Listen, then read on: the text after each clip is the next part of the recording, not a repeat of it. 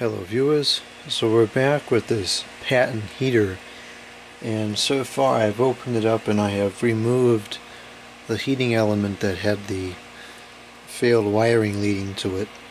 And I was going to try to clean this up because you can see it's very corroded where the contact is.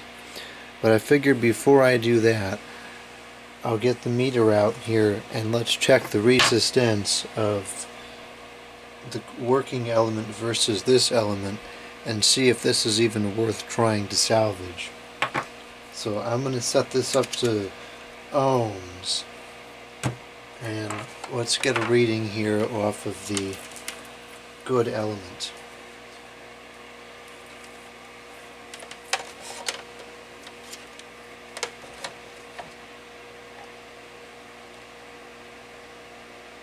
So it looks like that one side is about 100 ohms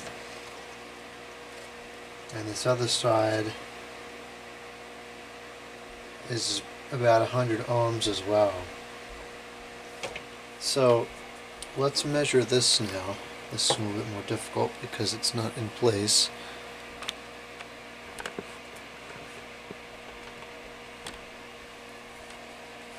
Now of course the reading very well could be skewed because of the the oxidation there. But we can see here that the resistance of this element is significantly higher than that of the working one.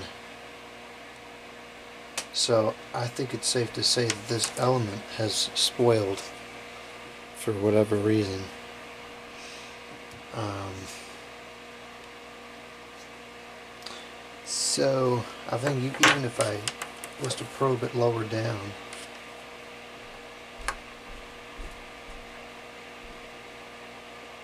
yeah, it's getting those readings from anywhere on it. So uh, unfortunately this is spoiled and there's absolutely no point in trying to clean this up and reconnect it. So there is a number here. So perhaps I can use that information to find a replacement. So I'm going to go do some perusing on the internet and see what I can come up with.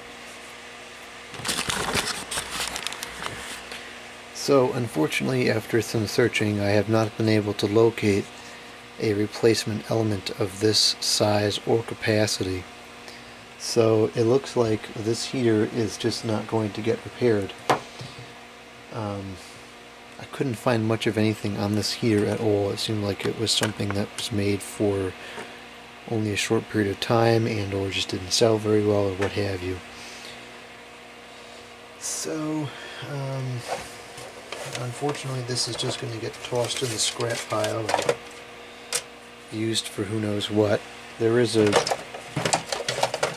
perfectly good fan in there, so perhaps we can make use of that. I imagine the oscillation comes from some kind of a synchronous motor, so perhaps we could use that for something. Um,